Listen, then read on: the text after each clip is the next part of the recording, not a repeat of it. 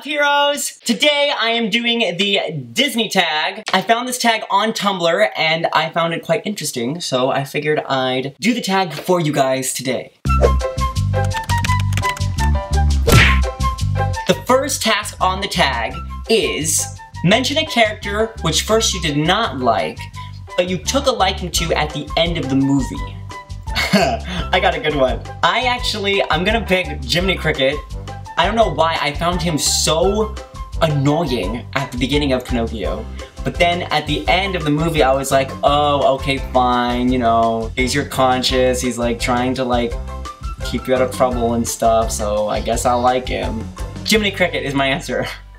The next, one, the next question is, what do you prefer? CGI or hand-drawn animation? Even though CGI is beautiful to look at, and I love it, I'm going to have to pick hand-drawn animation. I don't know why, it holds a special place in my heart, and I think, I think it reminds me of when I was a kid and like all the Disney Renaissance movies and all of the nostalgia, and I just have a special place in my heart for hand-drawn animation. So I'm going to say hand-drawn animation.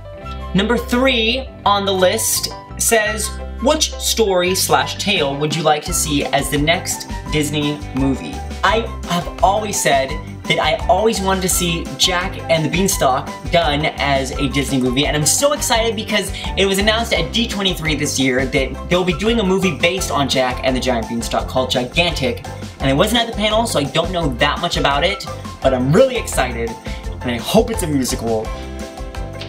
The next one says, Number four says, describe the main character who you'd like to see in a future Disney movie. I think I would like to see, I got it. I would like to see a character that in some way, shape, or form represents the LGBT community because I think it's time for that. I feel like if anybody's gonna do it, it has to be Disney. They're the only people that will be able to pull it off. And I feel like people want that. I feel like everybody's ready for it. I'm gonna say some kind of character represents the LGBT community. Yes. Number five says, which is your favorite first meeting scene? I got it. My favorite first meeting scene is between Hercules and Meg because it's so weird and goofy in a way. Most most first meeting scenes are like either the princess is all disheveled and she bumps into the prince and love at first sight and all that manners, but their Meg and Hercules scene is really weird because he's trying to save her from that centaur guy and she's like making fun of him the whole time and it's really funny.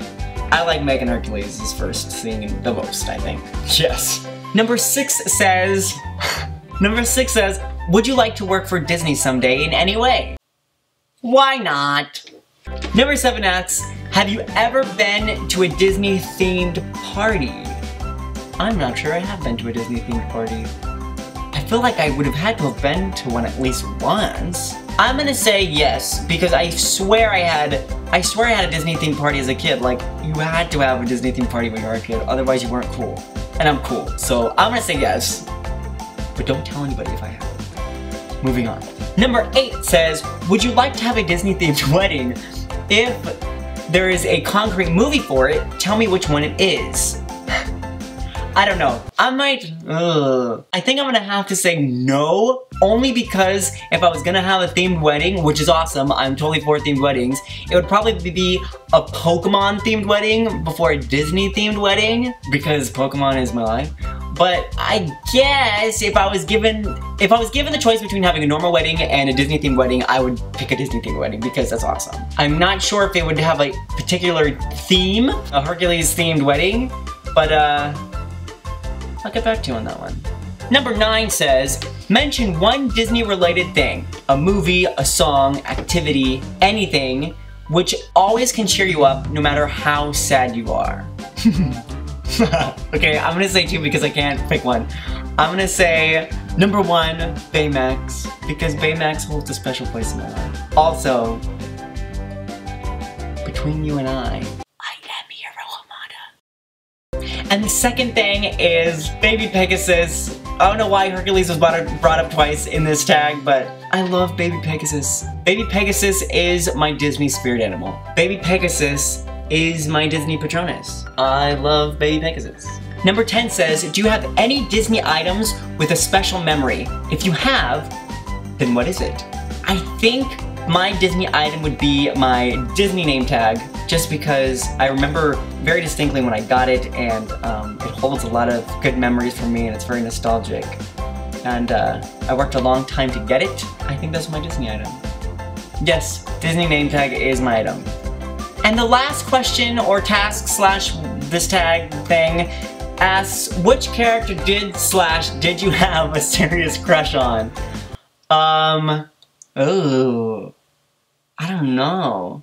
I feel like as a kid, I had a really big crush on Esmeralda. Esmeralda's hot, and she's also really nice to Quasi, which won me over.